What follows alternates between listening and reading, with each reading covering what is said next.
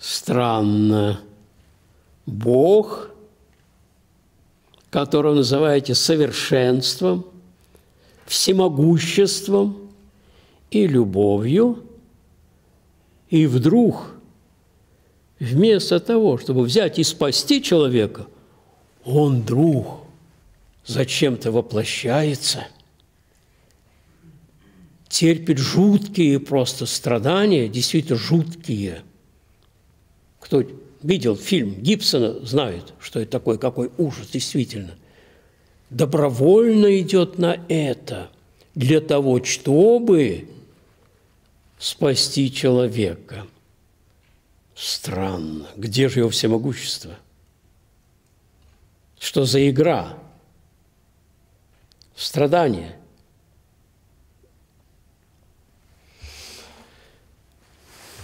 Этот вопрос еще раз, сейчас попытаемся рассмотреть его, еще раз показывает, какая же глубина, до чего глубокая, я бы лучше сказал, христианская религия. Язычество, иудейство на Бога смотрят как на какого-то, как подобного человеку, который что хочет, то и делает. Не понимают ни природы Бога, ни природы человека. И отсюда это возникает вопрос, как это Бог всемогущий взял бы и сделал? Это что такое? Идти на крест. Итак, итак, вот этот вопрос, на который давайте попытаемся немножко ну, подумать, что ли, и рассудить, Зачем же, почему же потребовался крест, страдания? Крест, я говорю, как символ страданий. Да, крест для Бога, человека, Христа, для спасения человека. Почему? Первое, на что я обращаю внимание ваше, на одну замечательную мысль, мысль Григория Паламы – небезызвестного для вас. Посмотрите, что он пишет. Бог есть и называется природой всего сущего. То есть, ну, сущего в данном случае всего существующего, то есть природой, то есть основой всего. Ибо Ему – все причастно и существует в силу этой причастности. Слушайте, это что такое? Пантеизм прям? Настоящий пантеизм. Нет, но здесь запятая стоит. А что же дальше? Но причастности не к его природе, а к его энергиям – Ну, вы, наверное, по догматическому богословию должны были проходить этот вопрос о сущности и энергиях Бога. И понимаете, в определенной степени, в какой мы можем понимать разницу между сущностью и энергиями. Энергия – это греческое слово, которое перевести надо как «действие». Бог – природа, но у него есть действия. Какие действия? Бесчисленное множество. Его, в частности, творение мира – это уже его действие. Промыс о человеке – это его действие. Да все. Так вот, интересно, что говорит. Он, но причастности, Бог причастен, все причастно Богу, но не его природе, ему самому – а его действием.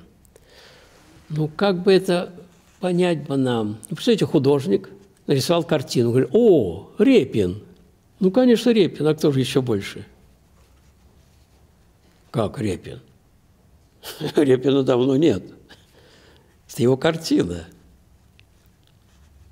Это его действие, это его энергия, если хотите, которая осуществилась вот в этих красках у кого в звуках. у кого в песне, у кого в танце, много у кого в философских идеях. Одно дело – сущность сам человек, другое дело – его действия. Так вот, в данном случае Григорий Палама – действительно глубокий мыслитель, я бы сказал, ну, философ, если хотите, пишет, что, оказывается, Бог есть природа всего. Все и причастно Ему, но как причастно? Не в том смысле, что вот эта природа, которой мы наблюдаем все, все, что существует, это и есть Бог, как говорил пантеизм. Помните, пантеизм проходили? Deus sive natura. То есть Бог есть природа, весь мир. Нет, нет. Есть такое выражение, которое дает возможность нам понять. Попробуйте.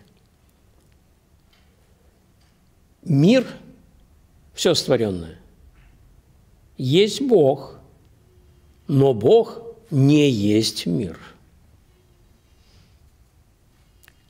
Природа, да, есть Бог.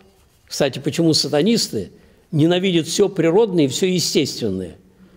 Почему все время, все время только устраивают как противоестественные вещи, противоестественные страсти, борьбу с природой, чего только не делают, поворачивают к реке, ну, я не знаю, что только готовы сделать. Человека извращают. Да, природа есть Бог, но Бог не есть природа. Совсем разные вещи – сущность и энергия. Вот это первое, что мне хотелось объяснить сейчас, и нам это будет крайне необходимо для дальнейшего понимания. Все существует, поскольку причастно чему – не при его природе, а его энергии, потому что все существующее есть его энергии. Помните первые строки Библии? «И сказал Бог, да будет, и стало так». Его Слово, Его действие, вот оно, что это такое стало – Все спрашивают, как из ничего Бог сотворил экс нигеля нигель, из ничего ничего не бывает. Да, ничего, в данном случае его слово воплощается, и мы видим, до чего же Бог прекрасен, прекрасен мир в своей первозданной красоте. Да, потому что это слово самого Бога, это его энергия – и как его энергия причастна, причастна самому Богу. Ну, хорошо. Дальше продолжу. Григорию Паламу.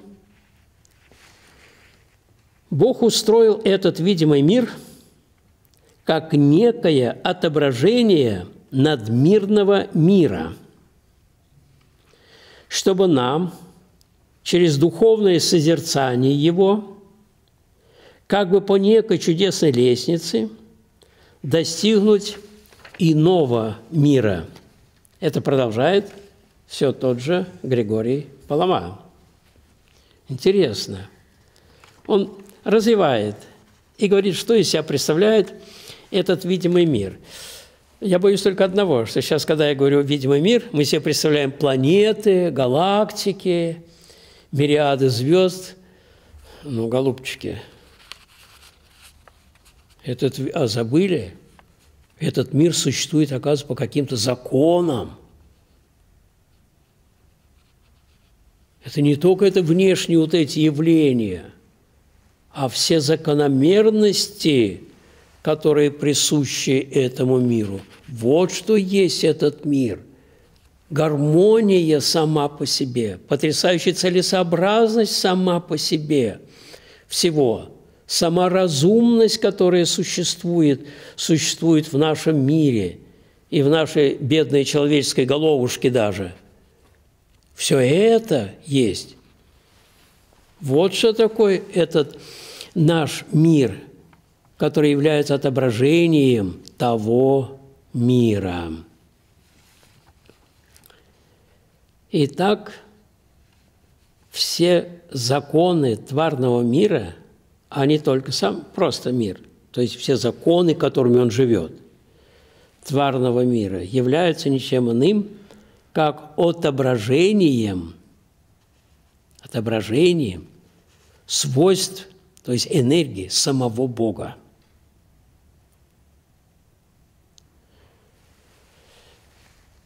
Почему об этом я говорю? О, это очень важно. Мне кажется, что в данном случае мы можем найти с вами ответ на поставленный вопрос.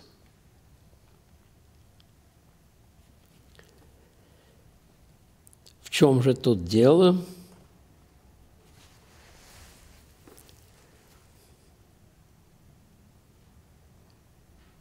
Как Бог не изменяем – так и действия Божие, будучи выражением Его, Бога, то есть действия, энергии, эти воплощенные энергии, которые мы наблюдаем в нашем как бы видимом мире, они также непоколебимы, неизменны, поскольку они, как мы сказали, этот природа есть Бог, хотя и Бог не есть природа, неизменны существующие законы, они имеют некую иерархичность. Ну, начинается с самых таких грубых, я бы сказал, материальных законов, биологические законы. О, совершенно другой уровень. Другая сложность. И посмотрите, какое соподчинение – материальные законы подчиняются законам биологическим. Тот, кто знаком с медициной, это может привести сколько угодно примеров. Но и эти законы биологические подчинены законам психическим. Что вы? Психика подчас не спровергает все законы биологии. Идут на смерть на смерть идут, вот, в состоянии, допустим, аффекта или еще чего-нибудь. Но и эти психические законы, закономерности, обращаю ваше внимание, это подчинены законам нравственным. Нравственным законам подчинены. Совесть заставляет делать то, перед чем не может стоять никакая психика. Но и скажу вам последнее, и выше даже нравственных законов существуют законы духовные. Я нарисовал вам вот эту лестницу закономерностей, причем каждый более высокий уровень находится я бы сказал наоборот. Каждый нижний уровень находится в подчинении более высокого. И, наконец, последним и источником, если хотите, самым фундаментальным, которому подчинены в конечном счете, конечно, все, все законы, это законы духовные. Законы духовные. Они присущи, законы духовной жизни, самому человеку. И они-то являются наибольшей ценностью – если мы хотим заниматься познанием человека и его духовной жизни. Почему я об этом говорю? Почему я говорю о первичности духовных законов в нашем бытии? Их непоколебимости, особенно обращаю ваше внимание на это. Духовные законы непоколебимы, неизменны, поскольку являются выражением – самого неизменяемого Бога. Давайте обращаю ваше внимание. Все иудео-языческое понимание Бога какое? Надо его умолить, чтобы он смилостивился, не наказал или помог там что-нибудь сделать. Бога меняем своими молитвами, подумайте. Христианцы говорят, вы что? Если Бог изменяем, какой же Он тогда Бог? Мы меняемся в своих молитвах. Мы Ты смирись, гордый человек, и тогда действие Божие станет доступным для тебя и изменит тебя, и спасет тебя. А пока ты не изменишься, невозможно. Пока окна закрашены черным лаком, никакой, никакой луч солнца не придет в твою душу. И тьма так и будет. Протри, сотри этот лак, начни его стирать, и ты увидишь, как солнечные лучи начнут проникать. Мы меняемся, а не Бог меняется. Вот что сказало христианство. В отличие от всего до христианского религиозного сознания. Бог неизменен, и кто Он? Неизменен, Он – любовь. Почему я об этом, друзья мои, говорю? Мне хочется, чтобы мы попытались понять следующее. Есть законы, духовные законы нашего бытия, неизменны как Бог, то в данном случае мы оказываемся перед такой реальностью –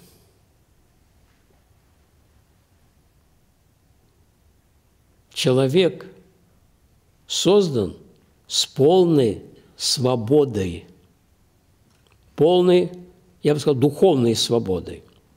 Не свободой делать что угодно. Он может много и делать свободен, но главное не в этом.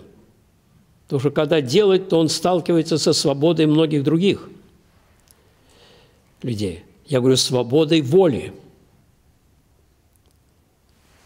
Человек есть создание Божие. Если хотите, это, это плод его энергии человек. И изменить человека Бог не может. Всемогущий Бог? Да. Всемогущий Бог? Нет. Так простите, всемогущий или нет? Бог не может спасти человека – без воли самого человека. Почему не может? Потому что та свобода, которая дана человеку, богоподобная свобода, она означает ничто иное, как неизменность. И если бы Бог нарушил, что невозможно, свободу человека, он перестал бы быть Богом. Это его акт его энергия. Он, пусть человек назван, по образу создан человек Божию, богоподобен. Человек свободен, и Бог не может, не может влиять на человеческую свободу воли. Если бы не так, тогда не имели смысла никакие заповеди. Это было бы что-то смешное, заповеди. Зачем они нужны? Зачем? Если я ничего не могу. А оказывается, свобода человека незыблема. И я что хочу сказать? Один из законов, достаточно элементарных, но также твердых и незыблемых, как и прочие законы духовной жизни, заключается в том, что каждое нарушение закона природы, закона природы, я подчеркиваю, никакого юридизма, избавь Бог думать о законах юридических. Бог не издает никаких законов. Я говорю, законы нашей жизни – Каждое нарушение законов существования человека, мною нарушаемое, влечет за собой что? Ну, что влечет за собой, когда я сажусь на раскаленную сковородку? Ну, всем понятно, что и говорить. Всем понятно. Нельзя нарушать законы своей, своего естества, своей природы. Влечет что за собой? Ну, страдания, конечно. Ну, конечно, страдания. Естественно, нельзя прыгать с пятого этажа.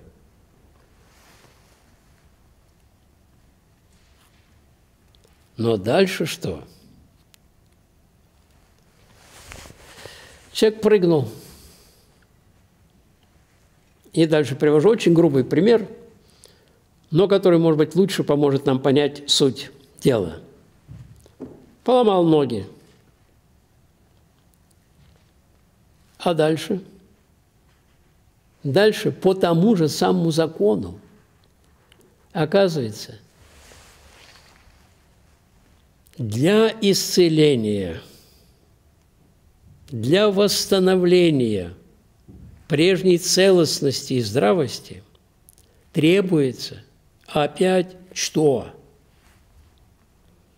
Опять требуется труд, страдания, часто тяжелые страдания, для того, чтобы восстановить в целостности и здравости. Лежит человек с ногой, она у него так торчит, вся перевязанная, и говорят, тебе придется лежать столько-то недель в гипсе. Ахай, охай, ничего не попишешь. Закон. Ничего не сделаешь. Хочешь излечиться? Вот так.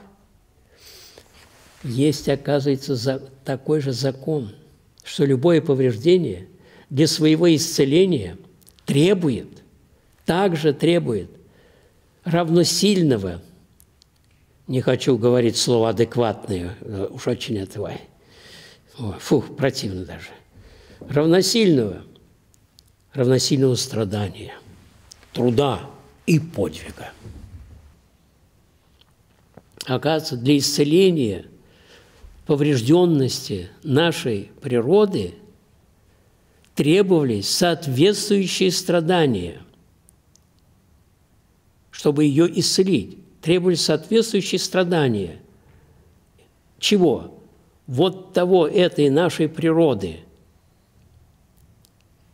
Без исцеления ее невозможно было бы никакое дальнейшее продвижение в духовной жизни. Природа повреждена. Как? Она стала смертной, тленной, страстной. И требовалось соответствующее ее исцеление. Через что? Закон один. Исцеление требует страдания. Спасение требует страдания. Герои часто гибнут, даже идут на смерть, чтобы спасти других. И здесь мы видим, чтобы победить смерть, мы это же постоянно слышим в стихирах, стихирах, что вот скоро это будет, смертью смерть попрал. Слышите, смертью смерть попрал. То есть вот это перенесение тихчайших смертных страданий – оно явилось только вот тем необходимым средством, благодаря которому была побеждена вот эта смертность. То есть вот то, о чем я говорю, соответствующее страдание требуется. Небольшая боль, небольшая болезнь. И не так уж трудно лечиться, не так уж тяжко. Более тяжелая болезнь, больше страданий. Еще более тяжелая болезнь, еще тяжелее страдания – Наконец, когда мы приступили к последнему, для того, чтобы уничтожить смерть, оказалось это возможным только равносильным актом – смертью. Вот почему потребовалась смерть Христа. Причем не просто смерть, а страдание до смерти, смертные страдания. Вот, оказывается, в чем Суть почему, почему потребовались, потребовался крест Христов, а не мог Бог своим всемогуществом исцелить человеческую природу. Таков закон бытия. Закон, если хотите, божественного бытия – ведь вы знаете, что Бог не может перестать быть Богом? Нет, не слыхали? знаете, что Бог не может сотворить другого Бога? Никогда не проходили? Говорят, нет. И там нет. И не может перестать другим Богом, даже стать не может. Нет. Измениться не может? Нет. Так он всемогущий или нет? Да. В чем? Как? Бог – первичная реальность. И Он незыблем, Он неизменяем, Он самосущий, Он – начало всего существующего, как и написал Григорий Палама. Да, Бог есть и называется природой всего существующего, самой природой, из которого все возникло, и материальное, и духовное, и законы существования –